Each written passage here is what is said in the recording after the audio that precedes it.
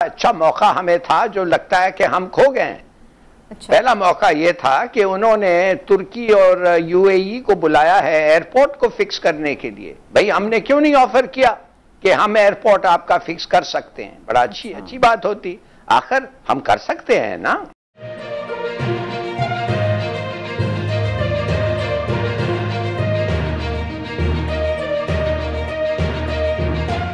Important situation है जनाब अफ़गानिस्तान में, जो कि ज़ाहिर पाकिस्तान के साथ भी जुड़ी हुई है और बाकी भी दुनिया की नज़रें उस पर जमी हुई हैं कि ये हुकूमत कैसी होगी और उसके साथ किस तरीके से चला जाएगा और पाकिस्तान के भी के भी ज़ाहिर है यही सवाल हैं कि पाकिस्तान के साथ जो नई हुकूमत है तालिबान की, वो किस तरह से बिहेव करेगी, हमें किस तरह से आगे बढ़ना होगा। इस हवाले से गुफ्तु करेंगे। पहले मैं हिलाली साहब आपकी तरफ़ आऊँगी। ऐसा नज़र है कि क्या कोई तालिबान नया आइन बनाएँगे, उसके तहत रियासत चलाई जाएगी? कोई सदारती निज़ाम होगा, पार्लियामेंट बनाएँगे, क्या करेंगे? किस तरीके से ये ढांचा क्या होगा या कोई ईरानी मॉडल बनाएँगे? देखिए, जो भी स्ट्रक्चर हो, वो स्ट्रक्चर इनका ऑथोरिटेरियन स्ट्रक्चर होगा। और ऑथोरिटेरियन स्ट्रक्चर माने एक आदमी के हाथ में काफ़ी पावर्स हो, ज़्यादा पावर्स होते हैं, वो मेरे ख्याल में अफ़गानिस्तान के लिए कुछ सूट करता है। कुछ लोग तो कहेंगे कि शायद हमें भी सूट करता है। अगर एक छोटा सा मिसाल ले ले लें हम्म। इंडिया और पाकिस्तान जब आज़ाद हुए थे तो चीन जो था इतना बैकवर्ड था लोग कहते थे कम से कम 20 साल इंडिया से बैकवर्ड है। और अब लोग कह रहे हैं कि चीन 40 साल आगे हो गया है हिंदुस्तान से। और इंडियन पार्लियामेंट में जैसे लोगों को पता है 40 फ़ीसद जो एम हैं उनके खिलाफ क्रिमिनल चार्जेस हैं। हमारे वहाँ भी कुछ ऐसे ऐसा इसी किस्म के लगभग फिगर्स होंगे। कहने की बात सिर्फ़ यह है कि जो सिस्टम आप अडॉप्ट करते हैं और आपको सूट करता है वो सिस्टम सक्सेसफुल होता है। चाइनीज़ सिस्टम इतना सक्सेसफुल रहा है कि जो 20 साल पीछे थे अब 40 साल आगे हो रहे हैं। हम्म। अब एक हाइपर पावर बनने जा रहे हैं। अब world great biggest largest economy बनने जा रहे हैं। बीस तीस साल में 2050 में लोग कह रहे हैं कि it will be in every respect the hyper power of the next century अब कहने की बात यह है कि ये सब हो रहा है तो इस वक्त अफ़गानिस्तान में आ, हमें पता है क्या होने वाला है। वो जो एमीर है इस वक्त खलीफ अमीर जो भी आप कहते हैं उसके पास सुप्रीम पावर होगा। जैसे सरबराह के पास होता है। हाँ, और उसके बाद बरादर है। He is the de facto prime minister आप समझिए। और प्राइम मिनिस्टर के साथ स्तानाजाई है और वो मुल्ला उमर साहब के जो बेटे हैं याकूब। तो कहने की बात यह है हमें पता चल गया है कि government what it will look like किस किस्म का शेप होगा। हमें यह भी पता चल गया है कि अमीर के पास क्रूशल सुप्रीम पावर उसके पास होगा। तो जो हम एक्सपेक्ट कर रहे थे मेरे ख्याल में वही हो रहा है। पहली बात तो यह है समीना कि बड़ा अच्छा मौका हमें था जो लगता है कि हम खो गए हैं।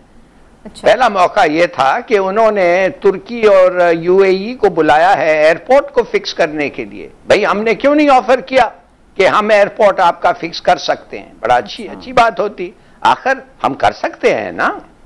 दूसरी बात आ, मेरे ख्याल में आपने जो पूछा था उसके बारे में ये कहूँगा कि देखिए इतना इम्पोर्टेंट है अफ़गानिस्तान चीन के लिए कि अब से अफगान स्पोक्समैन जिनका कोई खास एक्सपीरियंस नहीं है चीन के साथ बात करना और रिलेशनशिप उनके साथ मैनेज करना उसने अनाउंस कर दिया है कि हमारा सबसे बड़ा दोस्त और जिससे हम बहुत एक्सपेक्ट करते हैं हमें मदद मिले वो है चीन।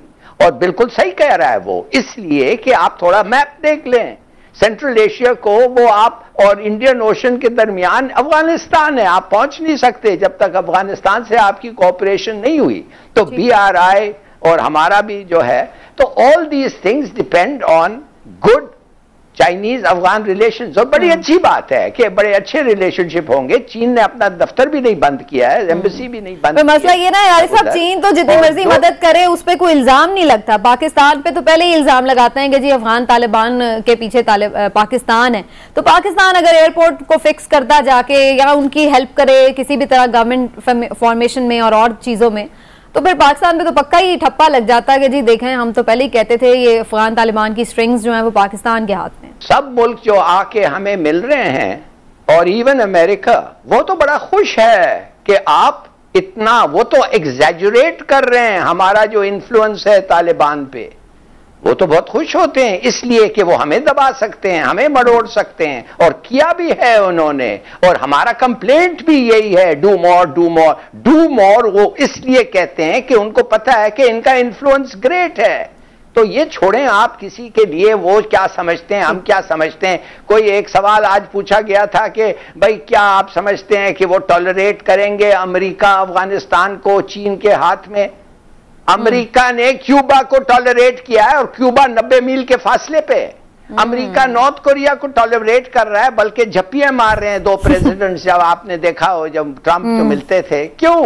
कुछ कर ही नहीं सकता है। This is a changed world तो ये मुख्तलिफ़ दुनिया है तो बिल्कुल हमें जितना हमारा इन्फ्लुएंस है जितना हम कर सकते हैं बेरिंग इन माइंड हमारा नेशनल इंटरेस्ट हमें करना चाहिए तालिबान के साथ। हम्म, सही है लेकिन अमेरिका का तो अभी भी दुश्मन है ना चीन हिलाल साहब फिर ये ना हो कि पाकिस्तान चाइना अफ़गानिस्तान ये वाला जो पूरा एक ब्लॉक बने वही अमेरिका की हिट लिस्ट पे ही आ जाए फिर वो एक नई मसला मसाइल जंग शुरू हो जाए। आप फ़िक्र मत करें। अच्छा। डरे मत।